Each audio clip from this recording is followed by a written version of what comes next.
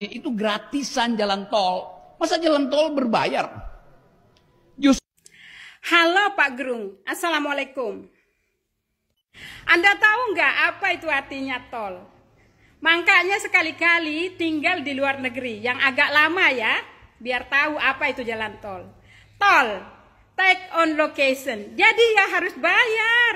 Kalau di luar negeri memang itu ada beberapa pilihan jalan ya kita mau ke freeway, freeway itu gratis. Sama hampir mirip dengan jalan tol, tapi freeway itu gratis tanpa dipungut bayaran.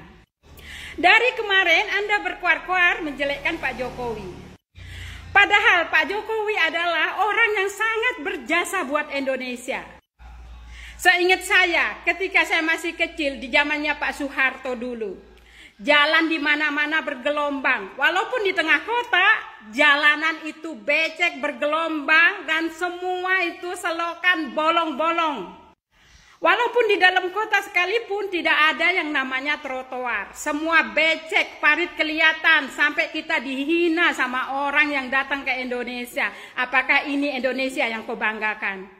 Tidak ada orang yang betah tinggal dan liburan ke Indonesia di zaman Soeharto dulu. Akhirnya saya pun tumbuh dewasa. Tibalah saatnya untuk lamaran. Datanglah calon suami saya dari Australia.